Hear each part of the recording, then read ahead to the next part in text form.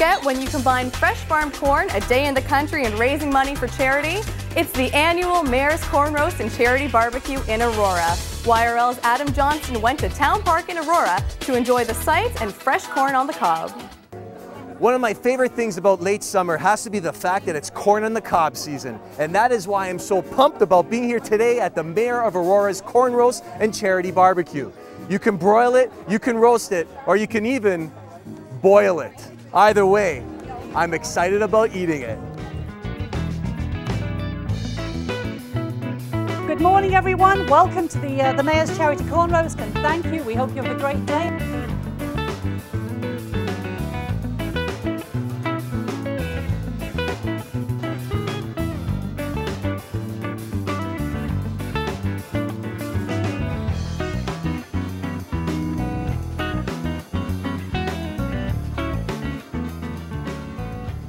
The corn roast itself was one opportunity at this time of the year when the corn is fresh.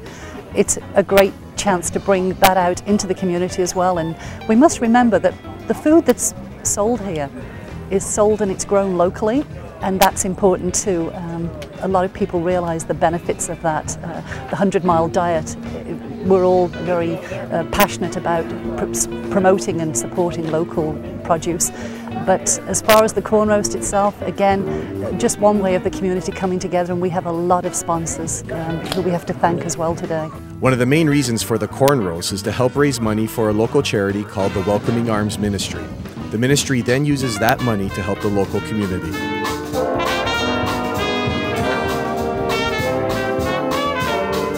Charities that we're trying to support today are five churches that work together called the Welcome Arms Ministry.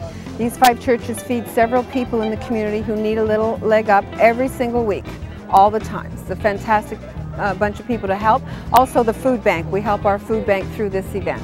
So what we're doing is the mayor is here uh, and many of the councillors are in. We're offering burgers, hot dogs, um, and also Aurora Farmers Market bags for people to come and purchase. A portion of all those proceeds go towards the needy in Aurora. So it's our goal to raise a thousand or more dollars today.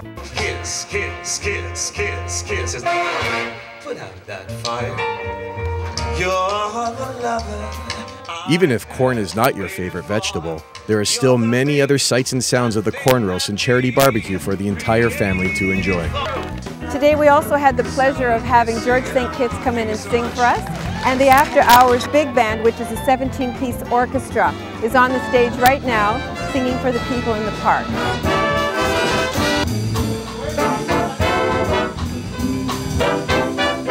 There's wine already for tasting. There's candlelights all shiny and new. Gotta move. Time. So if you're looking for a place that sells fresh fruits and vegetables while offering some great musical entertainment, all within a fun family atmosphere, then the Mayor of Aurora's Corn and Charity Barbecue is a place you might want to visit. I'm Adam Johnston, and that's York Region Living.